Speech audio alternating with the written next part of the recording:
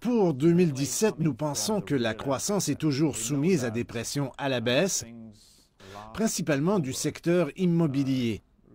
Nous savons que depuis octobre dernier, plusieurs collectivités locales ont commencé à renforcer leur politique restrictive envers le marché immobilier et nous pensons qu'elles vont finir par ralentir les ventes de propriétés d'abord, puis la croissance des investissements immobiliers ensuite.